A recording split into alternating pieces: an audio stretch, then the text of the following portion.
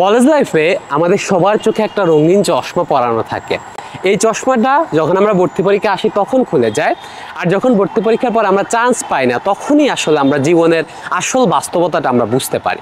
আমাদের কলেজ লাইফে আমাদেরকে দুইটা বছর দেওয়া হয়েছে। এই দুইটা বছর আমাদেরকে নষ্ট করার জন্য দেওয়া হয়নি। দুইটা বছরে অনেকেই বলবে যে কলেজ লাইফে অনেক পড়াশোনা, অবশ্যই পড়াশোনা। এখন এই দুইটা বছরে প্রতিদিন যাতে নিয়মিত আধ ঘণ্টা করে পড়ো, সেজন্যই তো এভাবে পড়াশোনাটা করা হয়েছে।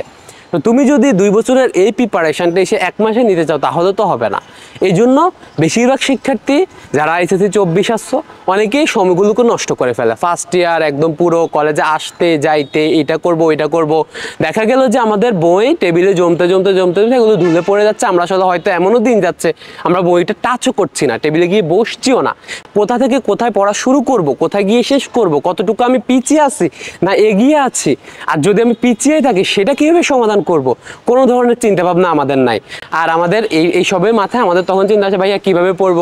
ভাইয়া, কী করব? আমি তো কোনো কুল কিনারা পাচ্ছি না।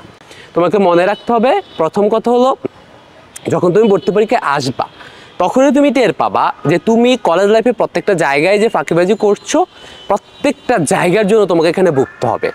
এবং তুমি যখন ফার্স্ট ইয়ারটাই পার করে আসবা তখন তুমি বুঝতে পারবে যে আমি ফার্স্ট ইয়ারে যদি অল্প করে পড়তাম যদি প্রতিদিন টিচার যা দেয় ঠিক ততটুকু পড়তাম, যদি টিচার আমাকে যা বলে ঠিক ততটুকু শুনতাম, তাহলে আমি অন্যদের থেকে অনেক বেশি এগিয়ে থাকতাম বা আমার যে পড়াশোনা, সেটা অনেকটাই কমপ্লিট হয়ে যেত তাই তোমাদেরকে আমি বলতে চাই, দেখো আমরা ভর্তি পরীক্ষায় শিক্ষার্থীদেরকে পড়াই, আমরা জানি তাদের বর্তমান বাস্তবতা কি। আমাকে বেশিরভাগ শিক্ষার্থী আমরা যাদেরকে পড়াই আমরা দেখি যে এরা আসলে ভর্তি পরীক্ষার জন্য প্রস্তুত না, এদের না আছে চান্স পাওয়ার আগ্রহ চান্স পাওয়ার আগ্রহ থাকলেও এদের আসলে কি করবে? এদেরকে কীভাবে পড়াবো? সেটা আমরা নিজেরাও খুঁজে পাচ্ছি। কেন? না কেউ ফিজিক্সের সূত্র পারে, না ইংলিশের টেন্স পারে, না অ্যাপ্রোপ্রিয়েট প্রিপোজিশন পারে, না ওকে সাধারণ জ্ঞানে সাধারণ জ্ঞান বলা যায়। সেগুলো কমন জিনিসগুলো ওরা পারে না। এবং আমরা এমনও শিক্ষার্থীকে দেখি যে বিজয় দিবস, স্বাধীনতা দিবস কিংবা আন্তর্জাতিক মাতৃভাষা দিবস, সেটা নিয়েও ভাইয়া ও কনফিউজ খুব কনফিউজ তাহলে তুমি যদি একটা ভর্তি পরীক্ষার্থী হও, আর তুমি যদি এই সামান্য একটা জিনিস, এটা যদি পড়াশোনা না করতে পারো এবার যদি নাও করতে পারো, তো ভর্তি পরীক্ষা এসে তো তোমাকে কান্না করতেই হবে। দেখো ভর্তি পরীক্ষা অনেক অনেক প্রেশারের জায়গা। হাজারো লাইন পড়ে একটা থেকে দুইটা এমসিকিউ আসবে এবং এটাই আসলে পারতে যে এতগুলো লাইন পড়লাম, মাত্র একটা পরী- প্রশ্ন আসলো, ওই একটা প্রশ্নই তোমাকে পারতে হবে এবং এটাই ভর্তি পরীক্ষার মানে হলো একটা মহত্ব বলতে পারো।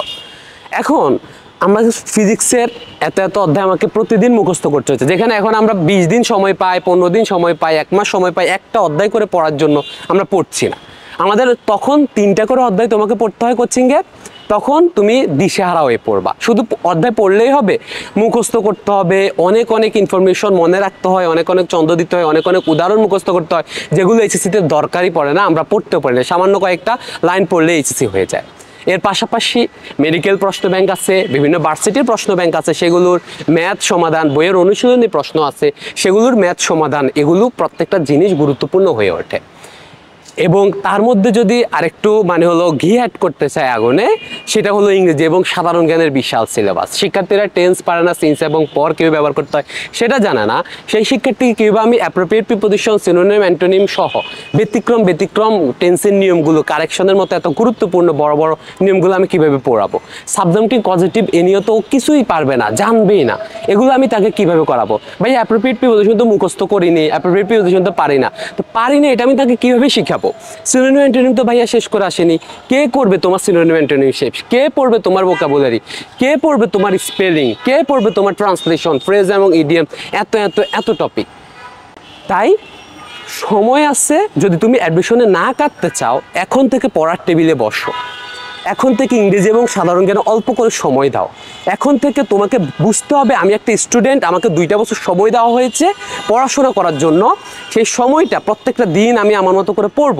আমি ফিজিক্স পারি না, আমাকে ফিজিক্স করতে হবে, আমি কেমিস্ট্রি পারি না, করতে হবে। আমি বায়োলজি পারি না, মুখস্থ করতে হবে। কেউ এভাবে শিখে না, কেউ একদিনে এভাবে পারদর্শী হয়ে আসেনি। সবাই ধীরে ধীরে ধীরে ধীরে ধীরে ধীরে পড়ে। ভালো শিক্ষার্থী যারা, তারা কীভাবে পড়তে পারে, কীভাবে মুখস্থ করতে পারে? ভাইয়ার কাছে গেলে ভাইয়া পড়া দিলে ওরা প্রত্যেকটা কথা শুনে ক্লাসে মনোযোগ দেয় এক্সামে মনোযোগ দিয়ে এক্সামগুলো দেয়, সেগুলো সলভ ক্লাস মনোযোগ দিয়ে করে। আর তোমাকে ক্লাসে পাওয়া যায় না সলভ ক্লাসে পাওয়া যায় না এক্সামেও পাওয়া যায় না, কোনো কিছুতে পাওয়া যায় না। তুমি চাচ্ছ যে, ভাইয়া, আমি মেডিকেলে চান্স পাবো না, আমি ভার্সিটিতে চান্স পাবো না। মনে রাখবা, না পড়ে কেউ কখনো চান্স পায় না। তুমি যদি পড়ো, না পড়ো, তুমি চান্স পাবা না, একদম গ্যারান্টেড আর তুমি যদি সত্যিকার অর্থে ভাইয়ারা যেভাবে বলে, সেভাবে পড়াশোনা করে চলো, তুমি যে কোনো না যে কোনো জায়গায় চান্স পাবাই, এটা গ্যারান্টেড তাই সময় দাও। ফিরে আসো বইয়ে। একটাই উপায়, টেবিলে ফিরে আসো, একটা রুটিনে ফিরে আসো।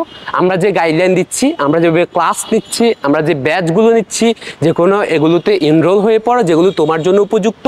আমাদের ইংলিশ জিকে ব্যাচ আছে, ইংলিশ জিকে পড়তে চাইলে আমাদের প্রজেক্ট ডিএমসিএন আছে, যেখানে আমি তোমাকে মেডিকেলের আটটা বিষয় ফিজিক্স কেমিস্ট্রি বায়োলজি পড়াচ্ছি।